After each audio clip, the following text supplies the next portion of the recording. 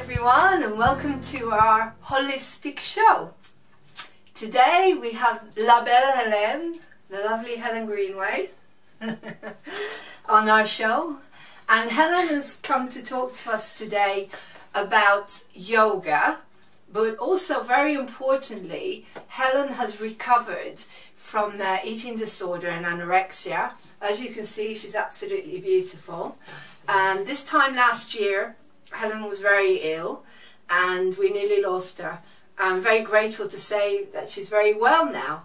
And I'm very interested in Helen telling us a little bit about how did she go from being, what, size? It was 35 kilos. 35 kilos to whatever you are now. You don't have to say what you are, but we can yeah. see how, how beautiful you are and yeah. how healthy you look. So, and you didn't actually use um, the uh, conventional way, no. which a lot uh, a lot of people no. go the conventional way, and that's what we're really interested here in moving on TV and mm. highlighting all the new ways that people are using in order to yeah. find their health. Yeah. So, what did you actually do? How did how did well, you do it? I suppose first of all, I just I feel like I should just say what happened just a little bit prior mm -hmm. to me getting the 35 kilos. Um, there was, I suppose if we're talking in terms of linking it to the book and things like that, um, I I suppose I did want to be a certain shape, but what I would say is I didn't realise how I was I had the um, how your mind basically can influence you so strongly and therefore um, you can end up in basically a situation like I ended up in last year at 35 kilos. So I, I got parasites in India when I went there seven years ago and I, I do feel like that was um, a bit of a, what's the word, one of those wishes that you make that comes true. I don't know how much detail you want me to go into with that, but basically I was, for seven years I was underweight, then came back to England, and then last year ended up getting something which then just tipped the boat, mm. so I ended up at 35 kilos. Can, can I just say that mm. when you mentioned the book, um, i actually forgot to say that Helen is actually going to be writing a book, which we're going to talk about in a minute, but when you referred to that, yeah. it's part of what happened to you, mm. and the book that you're actually writing about how you moved from where you were to where you are. Yeah. So that I just thought That's I'd fill you in a little bit about yeah. but um, so I suppose uh, how I recovered from being such a low weight was basically I wanted to do it the non-conventional way. I wanted to know how to heal my body from the internal way that would just be using natural whole foods and I found somebody who was trained specifically in working with people who are malnourished and it was all to do with using traditional recipes old-fashioned ways that have been around basically for centuries but have been forgotten because it takes too long. And it's not quick. It's not instantaneous. It's not on the shelf. It takes time you know. Family were boiling up bones and things like that to get the nutrients out of animal products basically. So it was a it was a process of using all traditional methods. And so give yeah. us give us an example. For example, because if you're looking at say we've got this young person mm. who has been diagnosed with an eating disorder, yeah. they they're, they're more or less disappearing mm. bit by bit. Yeah. And and the the first thing would be they they they would be taken to a, to a doctor or mm. or an eating disorder clinic. How are you able to not go through that process because that would be the process yeah. that usually yeah. people would have to go through yeah. and unfortunately a lot of the times they don't actually work yeah. or there's a lot of problems. So how we how were you able to go in a different way? I mean um, there, there was it did take a lot of strength to say to the um, eating disorder unit i'm going to do this on my own and most of them said no you'll be back and had no belief that i could basically do it. But um, more or less I did have a lot of support from home. But I had the support of a dietitian who was GAPS trained, which is what I was talking about. Um, yeah, her, her name's Kay Willis. She's an amazing woman. But because we had this plan we worked together with her. She'd never cured anyone before uh, with an eating disorder, and she was very scared when she met me at the 35 kilo mark because she knew it was life or death situation. She didn't know how um, she was going to do it, how it was going to work, or if it was going to work. But we we just trusted that we could do it. And really, it was a case of telling the eating disorders unit, I'm going to do this a different way. And really, we just had to match things up that needed to be done in terms of safety. So I had to go to the doctors every week and have all the things that would normally have been done mm. in an eating disorders unit. But then I had the health side from home in terms of good nourishing food. I didn't eat any rubbish, you know. I'm just not into packet stuff. I'm not into jar stuff. I'm into as natural as you start, you know, from the ground. Food comes from the earth. It doesn't come out of a jar. It doesn't come out of a packet. Mm. So it was just essential for me to build up my body. My gut intuition was, I need to do this properly, mm. and I need to do it with a good, good grounding from somebody who knows what they're doing. And this lady really did. She's a homeopath as well, mm. so she's got a lot of knowledge. Mm.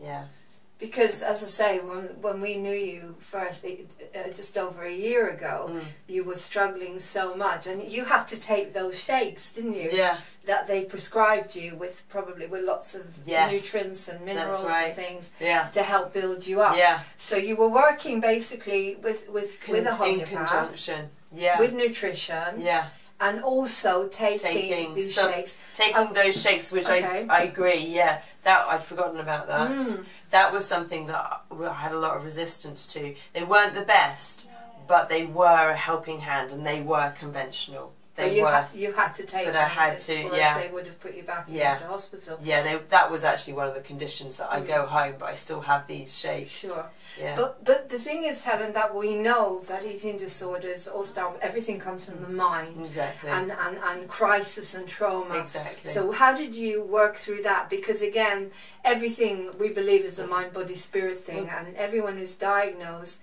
It's not enough no. just to go on shakes no. or just to eat. Uh, how, how did you deal with the rest of it? Um, that's a really interesting question because when it comes to being told I had anorexia uh, nervosa or an anorexic disorder, I know for me, I never wanted to be skinny. That was never part of my makeup.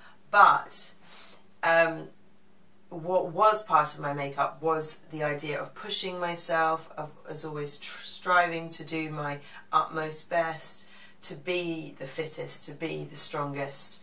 Um, and when you're in that mentality of pushing yourself, sometimes things basically don't you don't realize what you're doing to your body. Mm. You just this is perfectionism. It's, thing? it's this perfectionism thing. Yeah, and it's it's just the idea that you everything will be fine. Just keep pushing. Just keep just keep pushing. And that was the interesting thing. You know, for everybody who has an eating disorder, there will be something different that will have triggered their um, the situation they're in. It might not just be as simple as I want to look like Kate Moss. There might be a lot of other things involved, like a spider's web, and it's a it's a case of untangling those. So I had friends come over. Um, you might know one of them who did things meditation and hypnosis with me. Um, I had Kay, basically the homeopath and dietitian. She's also has a side tail which is counselling using um, all sorts of different techniques, but Louise Hay and things like that. So there was, in terms of um, working with people with eating disorders, I think the most important thing to understand is it's never just a straightforward, I want to be skinny. There's so much more to unravel. So for me, I just worked with a lot of different practices, a lot of different healing types, you know, from meditations to um, practical things like mm. getting myself just in the mindset of putting on weight. Just that whole feeling of, mm. of having a bigger body. Just had to sort of stay with that. A lot of praying, obviously. Mm. Um, and uh, just trying to really get into the situation as um, a lot of the um, the things say today, you know, to the secret, just be, just imagine you are in that moment of being healthy. So that was mm. a lot of it. And somebody also said to me, just be grateful for this. And I, I remember Can thinking. you explain that bit? Yeah, I remember thinking, how can I be grateful for being 35 Mm. kilos, not being able to walk, really barely difficult. being able to like get out of bed Mm. And having to like, how can I be grateful for this? And uh, when this friend said it to me, I just remember thinking, okay, this feels like I've got to try this, but I'm not sure how. Anyway, that night I went to bed and I thought, right, okay, I'm going to try and be grateful. I remember just saying, but I'm not, I'm not grateful for this. How can I be grateful for this? And I just remember thinking, no, just cast that aside, cast the judgment aside and go with, I'm thankful for this, I'm thankful for this. So what, what could you find in there to be thankful for? Um, I could, I to be totally honest, I was just saying it to start with. I was Mhm. just saying I'm thankful for this. Uh, I I couldn't realistically say I was, Mm. but I was like, I'm gonna trust Mm. that if I say this, something will come. And I, I just began to say it little by little every day. And at some point, I remember I basically I began to put the weight on. And at some point, I was doing, still doing it every day. I still do it every day now, actually. but um, at some point, I remember lying there and thinking, and there was an aha moment, and I suddenly realised I know what I'm thankful for. And it was literally, I'm thankful for this healing time. Because Right. everyone has things happen in their childhood. Mm. And I was I was actually given an opportunity of a huge chunk of my life, practically a year of my life, to heal a lot of things that went on in my Mm. childhood through that process. So it's about sorry, stop Yeah.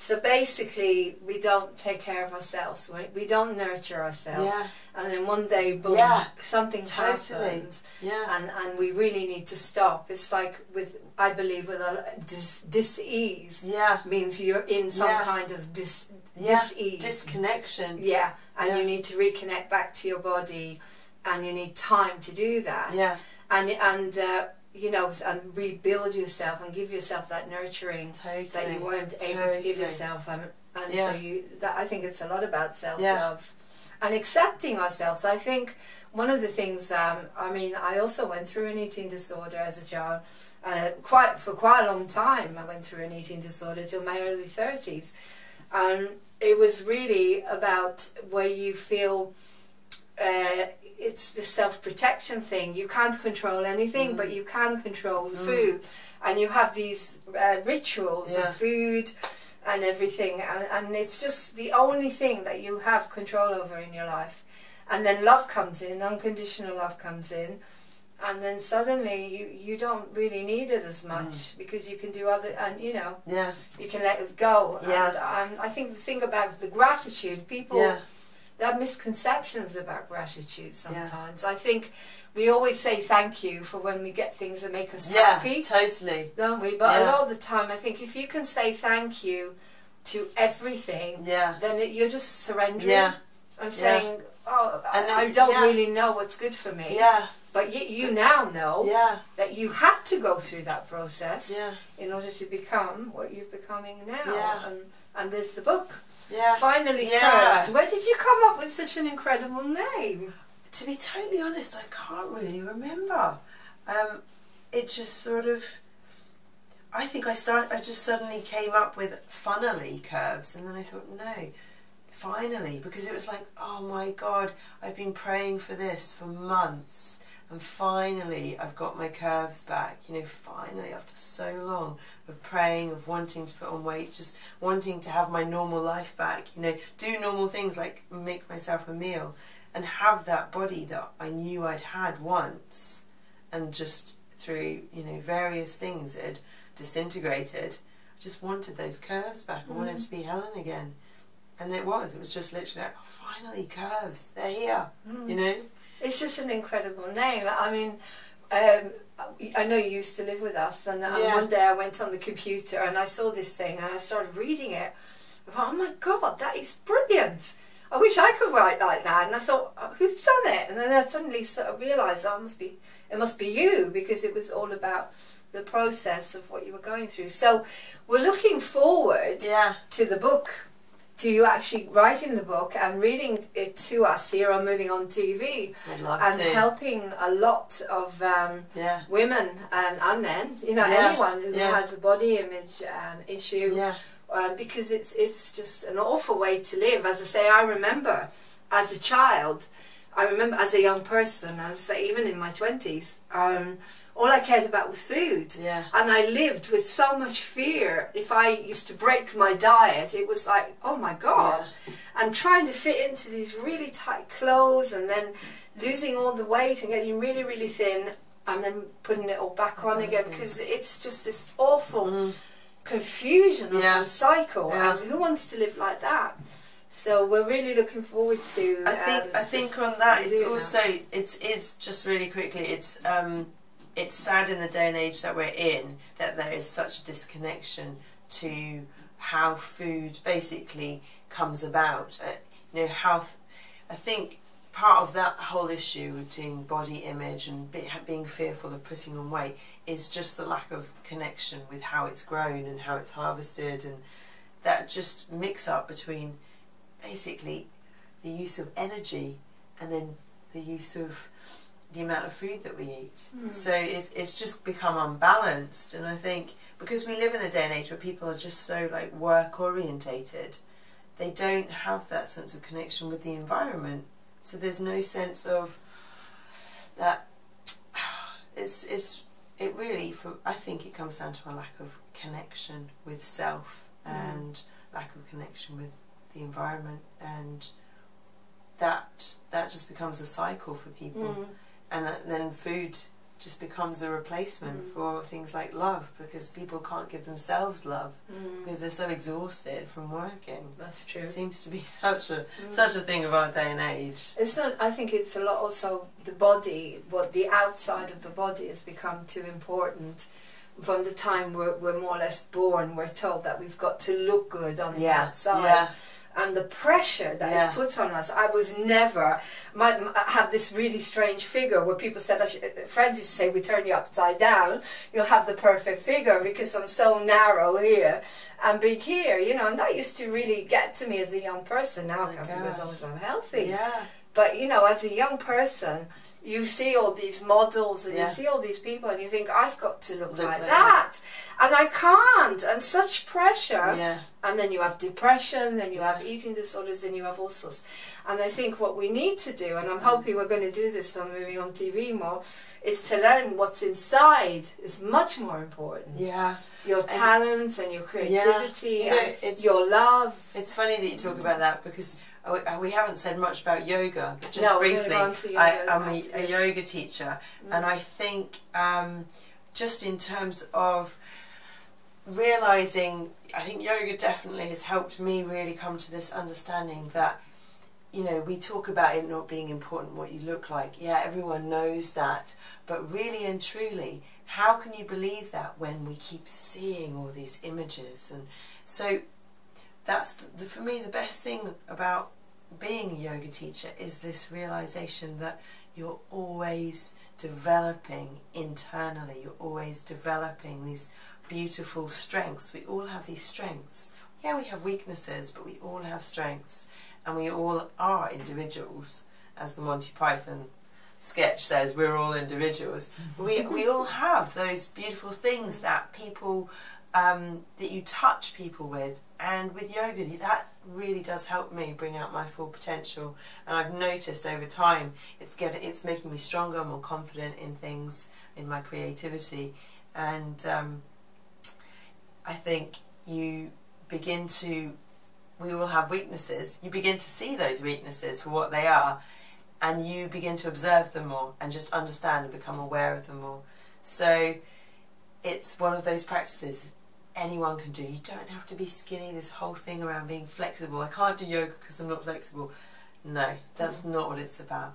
You come to yoga, you do what little you can do, and slowly you progress and you develop. That's where Mm. everyone starts.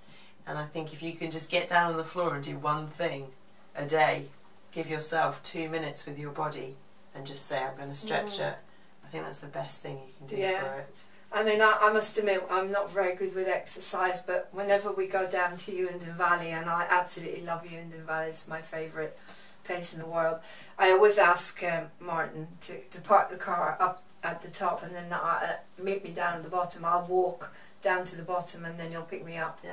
And I, I feel, you know, I've got my exercise that way, or maybe Yeah, when yeah. I'm acting and performing, and you do feel a lot better. Yeah, wow. So, when when are you qualifying? I am a qualified yoga teacher. I'm just doing an integration course because Okay. I qualified in Australia. So I'm doing a, one with the British Wheel of Yoga here. It's just to bring the two across. Mhm. You know how different people have different different organisations focus on different things, and I Mhm. wanted to focus a bit more on anatomy in England.